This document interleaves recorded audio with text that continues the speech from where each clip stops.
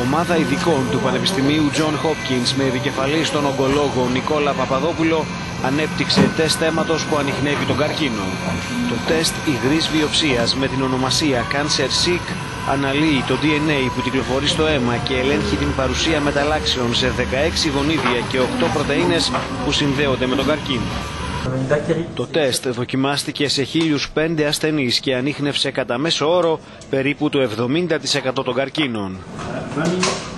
Το τεστ δεν είναι ακόμη έτοιμο για κλινική χρήση, όμως ήδη δοκιμάζεται σε ανθρώπους χωρίς καρκίνο. Στόχος είναι να υπάρξει ένα τεστ αίματος που θα κάνουμε όλοι μας μία φορά τον χρόνο.